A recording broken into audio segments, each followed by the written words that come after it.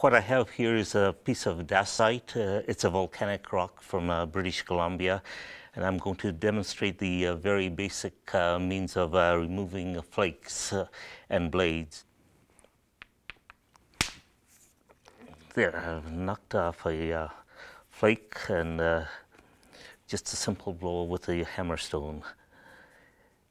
The platform is just a simple platform, unprepared. It's a flat surface uh, on the uh, uh on the uh, chunk of rock. Uh, platform is the place on the resulting flake that it has a bulb and it may be simple. Sometimes if we use a baton, it's a prepared platform. In this case, it's just a simple uh, unprepared platform. And uh, this is the uh, usually the, uh, well, it's the ventral surface where it attaches onto the core like uh, this. And the uh, dorsal surface may be the original cortex or else has flake scar from uh, previous uh, flakes. And I'll remove some of the sharp uh, edge here. When you remove a, um, a flake or a blade, it uh, leaves a negative bulb of percussion on the core. And uh, it's a sort of basin shaped and it has a very sharp uh, overhang. Uh, on the striking platform.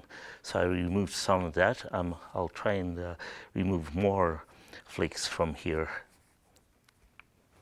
Oops. Oops. oh, that's more than I wanted.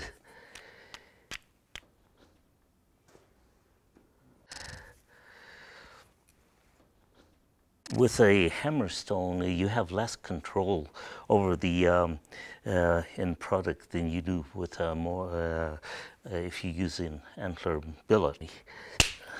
There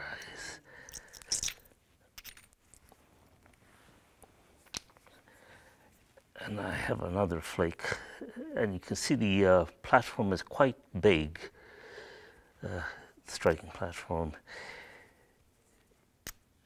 with a simple uh,